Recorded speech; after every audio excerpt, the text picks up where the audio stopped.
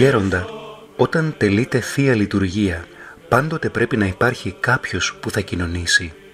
Ναι, γιατί ο κύριος σκοπός της Θείας Λειτουργίας είναι να κοινωνούν οι χριστιανοί, έστω και λίγοι που είναι έτοιμοι. Όλες οι ευχές αναφέρονται στους πιστούς που θα κοινωνήσουν. Γι' αυτό έστω και ένας πρέπει να κοινωνάει. Φυσικά θα τύχει και καμία φορά να μην είναι ούτε ένας έτοιμος. Άλλο αυτό. Καλά είναι όμως ακόμη και ένα μικρό παιδάκι, ένα μωρό να κοινωνάει.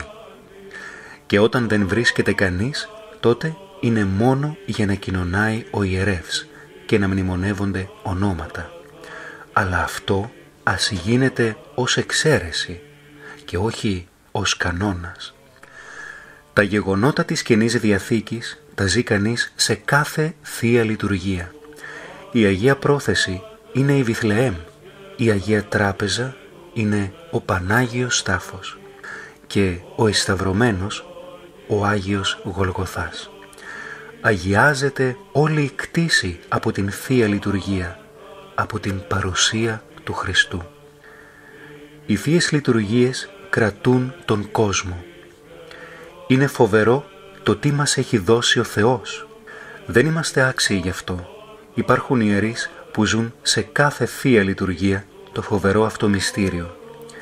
Μου είπε κάποιος κληρικός ότι ένας πολύ απλός και καλός ιερεύς του έλεγε «Δυσκολεύομαι πολύ να κάνω κατάλυση.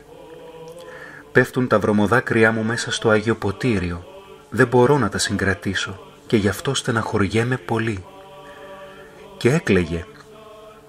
Του λέει και εκείνος «Πες στον Χριστό να μου δώσει και εμένα λίγα βρωμοδάκρυα».